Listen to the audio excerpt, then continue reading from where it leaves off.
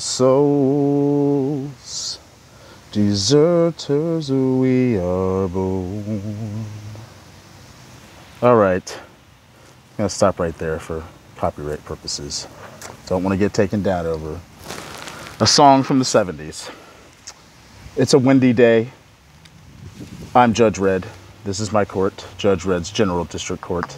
I'm out here at Wright Field in Austin, Texas, in Barton Springs. It's over by Chuy's, if you know where that is, the one with all the like car parts attached to it. And I'm going to be uh, telling you a little Halloween tale today uh, as evidence in our session. Remember, all day I dream about sessions.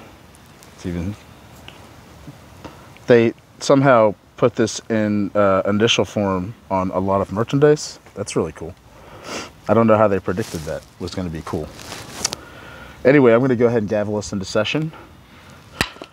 Oh, I just dropped the sound on the gavel. I've got the travel gavel going today. No, no handle. I'm going to be taking it out at uh, at Drum Circle a little bit after this down at uh, Zilker Park. So, looking forward to that as usual. I checked it out a little bit while ago and there was just nobody there yet, really. So, I'll be back. Anyway, today we're gonna go. Uh, we're not gonna do any shout outs. I've got those for maybe like uh, later in the week if I can find time to do an episode. I might do another episode tonight. If my Braves win the World Series, I'm going to go out and do one more episode about the greatest baseball game ever played, which was a crime. Contained a crime. Was all about a crime. A cool crime though. Nothing nobody got hurt. No big deal. This one though, today's it's a little bit intense. It's that's why I'm doing it on Halloween. It's a little gruesome. Little uh, World Series game five tonight. The Braves are up three one, so that's why I'm kind of just feeling this whole baseball like super vibe. You know, my team is in there. They're winning the damn series. We'll see. They've done worse. They've lost worse. Anyway, let's talk about uh, today's case. Uh, I'm calling uh, us to session. Um, I have no idea. Oh, let me grab my. All right. Today's defendant is a guy named Carl Mays. We'll talk about him a little later. I mean, we'll be talking about him throughout the story, but we'll get into why he's the suspect a little later. Because at first you're going to see this as a thing that just could have happened. Like, stuff happens. I'm a big believer in stuff happening. Stuff does happen. Maybe not so much in this case.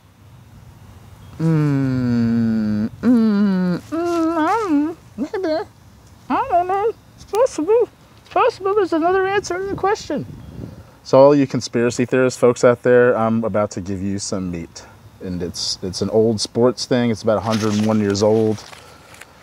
But I think, you know, if you want conspiracy meat, you got to look in old refrigerators.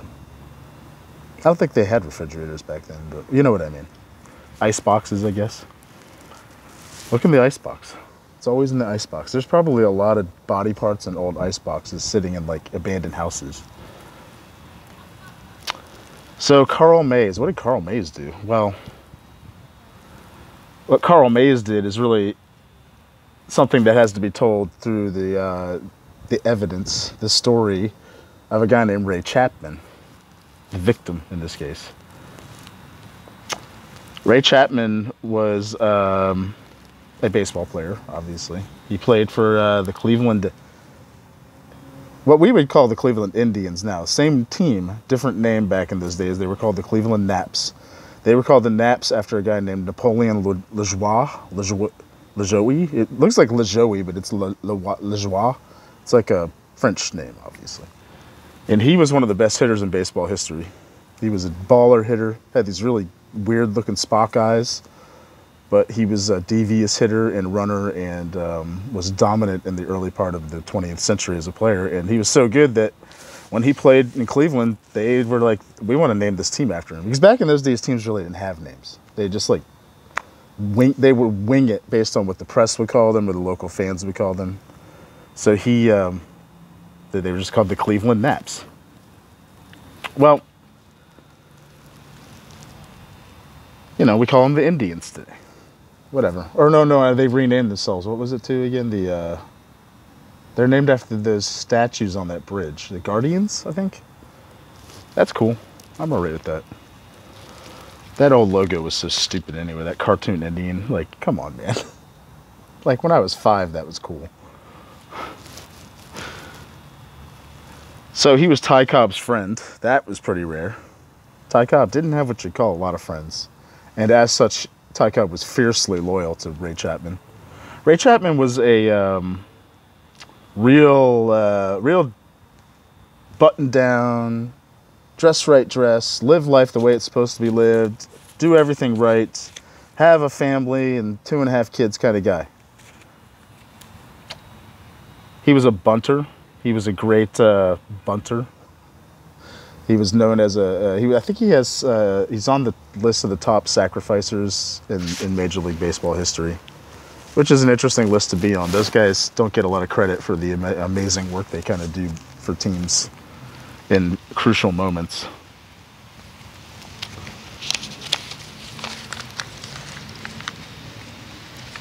So uh, yeah, he was a Kentucky boy, great bunter, like I said. Carl Mays was a pitch was the pitcher. Chapman was the hitter. Carl Mays was a submariner pitcher, one of those guys who looks like he's about to throw underhanded, but then he comes back and apparently basically throws it sidearm. But it's really basically overhand. In Major League Baseball, you can really over, throw overhand, only throw overhand by the rules. So submariners essentially are going low to come back high. And that's, you know, that was a common thing back then. It deceives the batter's viewpoint on where the release of the ball is going to happen, and that can cause confusion throughout the rest of the travel of the ball. So, he was also a spitball pitcher, like every other pitcher back in those days. Spitballs being, um, I had a list here of what a spitball consists of. Spitballs in those days could be any lubrication of the ball. But they also tried to make the ball dirtier. That was one of the main things they did with the spitball. So these guys would spit their dirty chewing tobacco out of their mouths onto the ball. Ugh. And then other players would willfully touch the ball the rest of the game. Like, imagine that happening today in COVID times. And licorice was a big one. Uh, sandpaper was used to, to make the balls rougher.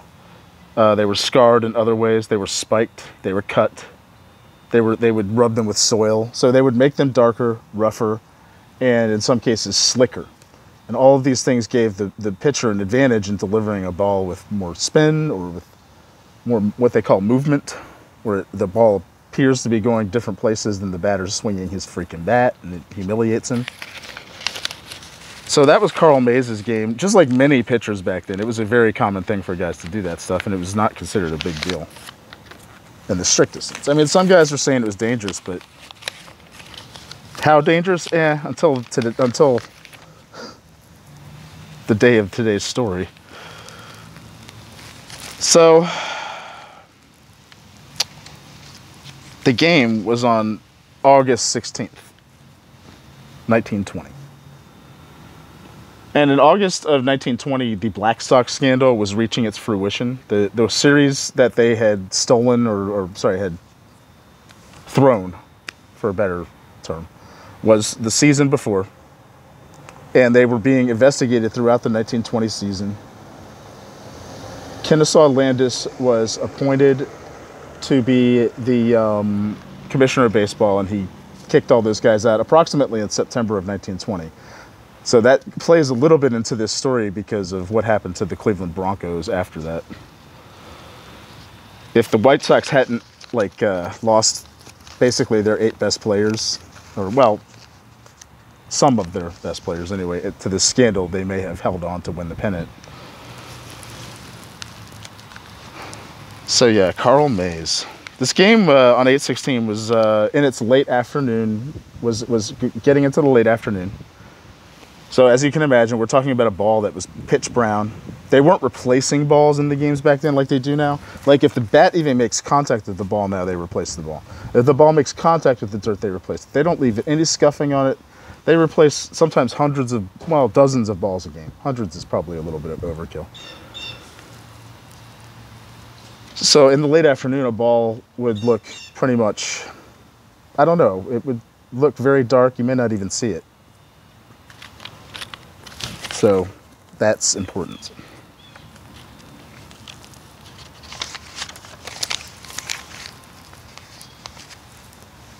Tris Speaker was in the on base, on deck circle. He was a Hall of Fame hitter, fairly famous. Now, if you're not following the story up to now because you don't know the names or you just don't care about baseball, I'll give you one name that was in the game watching from right field that you'll recognize, even if you're a communist from freaking Siberia. Babe Ruth. Babe Ruth was playing for the Yankees. That was the, sorry, I may not have mentioned the, the the Broncos were playing the New York New York Yankees that that day. It was Babe Ruth's first year with the team when he was breaking out and becoming a superstar, hitting all those home runs for you know first time, thrilling the fans over 50 home runs. Amazing. Watch him from right field. And um, it was just like any other pitch. Set up the throw. Chap, uh, Carl Mays set up the throw, and he delivered the pitch with his normal motion. Chapman did not react. He did not see the pitch. He didn't see it it's reasonable to say he didn't see it. There's a lot of he may not have seen it. He may not. He may not have seen it. Well, he's he didn't see it. He didn't react.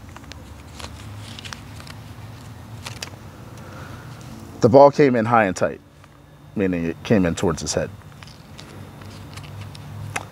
They didn't have batting helmets in those days. They didn't have any kind of sports helmets. Even in football, guys, I think pretty much played without helmets in the 20s, especially in 1920 itself, like the beginning of that decade. Warning explicit content upcoming. The sound of the ball striking his skull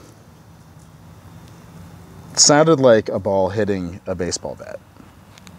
So we've heard, we've all heard that before. Not something you want to, uh, not a sound you want coming from your body. Hmm It's my body, man. It's my body. Don't touch my body. So, Carl Mays thought that the ball had been hit because Ray Chapman, you know, pretty decent hitter. He fielded the ball and threw it to first, expecting to get the out. Ray Chapman knew he was hit, apparently, because he fell down immediately and then got back up, what was described like in yo yo form, like just popped back up and then started towards first, and then boom, went down again before he got to first. Umpire, umpire Tommy Connolly started screaming for a doctor. Doctor, doctor. In the stands, wherever. Tris Speaker rushed to Chapman, along with other players and individuals in the vicinity to assist him. They got him up they got him up. He was walking. They let him off the field. And he was mumbling something about Katie's ring. And his wife, he had just married that year. His wife was named Kathleen. She was pregnant.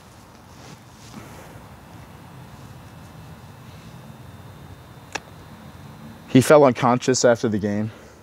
He was taken to St. Lawrence Hospital. That was near the Polo Grounds. That's where this game happened. The Polo Grounds was the uh, stadium that the Yankees played in back then, and it was all, it was the home of the New York Giants. And the Yankees didn't have Yankee Stadium at that point, so they had to play where the Giants played and essentially rent it from them. In fact, that's exactly what they did. That's why one of the big reasons why Yankee Stadium opened was to get them out of that situation. So yeah, he died at 4:40 a.m. on August 17th, uh, 1920. Survived by his wife and his unborn child and his other family members, of course, but that was the important. The Broncos played with black armbands the rest of the season. The Chicago White Sox got their players banned and dumped, tanked, whatever you want to call it, this month of September the Broncos made a miracle comeback and played against the Dodgers in the World Series. They, they wore black armbands the rest of the way. That's kind of a baseball tradition for, you know, when a manager or somebody dies. That's important to the team. And they won the World Series the first time it was won in Cleveland, and I think uh, I'm having a hard time thinking of when they won another World Series after that. So if they did, I can't remember. I'm not sure. I'm not sure they actually did. Huh, well, it doesn't matter. Kenesaw Mountain Landis uh, was a real hard ass, and he played a big part in um, getting rule changes made, a, a variety of other factors, you know, newspaper critiques and, and op-ed pieces, and just general public disgust with guys gruesomely dying on the baseball field you know, just to, just think of that baseball bat sound, and that's the sound of a ball hitting a guy's head and killing him, essentially. The spitball was banned. I mean, guys still use the spitball, but they're cheating. Gaylord Perry got in the Hall of Fame with it, pitching in the 60s and the 70s and the 80s, and he was a cheater. Balls began to get replaced at the slightest sign of wear. But they still didn't have batting helmets until the 1950s as a practical invention. And they were not really ruled as a necessity until the late 60s or the early 70s. And even then, guys were allowed to grandfather and not wear a helmet if they didn't want to until they retired. So there were guys still not wearing batting helmets, I think, in the 80s, or at least one or two guys. But that's real macho. What a way to die. 99 ways to die. That's one of them. But eventually, helmets were mandated in baseball. And you know, it's funny, it took till Tony Conigliaro in the 60s. So you got to ask yourself, why is this a court matter? What the hell does this have to do with, uh, what does this have to do with court crime and shit like that? Allow me to adjust myself for a second. Carl Mays is the problem here, conspiracy theorists. Carl Mays. Surly, a loner. Because of his father's death at a young age. Never pitched on Sunday because he was hardcore religious. Like a lot of guys back then were. And he took after his idol, Christy Mathewson, the Hall of Fame pitcher who also did not pitch on Sundays. You don't see a lot of not playing on Sunday anymore. I don't think there's anybody that does that anymore be kind of hard to justify.